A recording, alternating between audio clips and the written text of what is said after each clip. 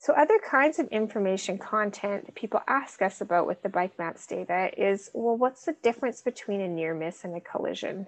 And what's the difference between the data that you're collecting and the official police data? So we've also looked at those kind of things.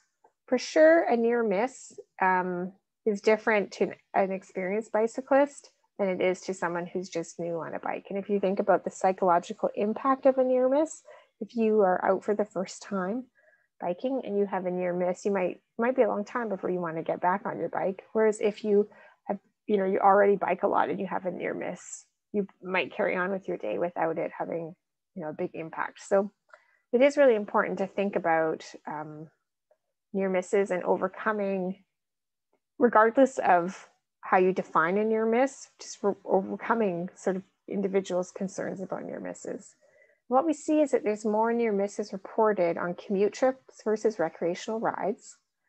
There's more um, near misses reported when a motor vehicle is involved and on a location that doesn't have a bike facility. So we think that these last two things, interactions with mo motor vehicles and also locations without bike facilities are probably incidences where the, the bicyclist feels whether it's real or perceived, it doesn't matter. They are perceiving that they're in a dangerous situation. So that it's important to create physical barriers between bikes and facilities in order to make bicycling more safe or to feel more safe. And when it feels more safe, then more people have access to this healthy and economically beneficial mode of transportation.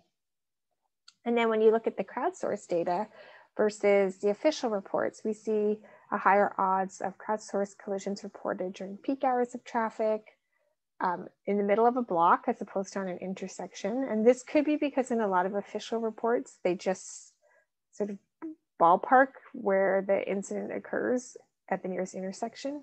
And we're also seeing more crowdsourced reports on bike facilities. So we tend to see official reports like the police reports where you have a lot of cars, but the bike maps data shows up where you have a lot of bikes. So I think, you know, both are important information sources, but it can be really most valuable to combine them together.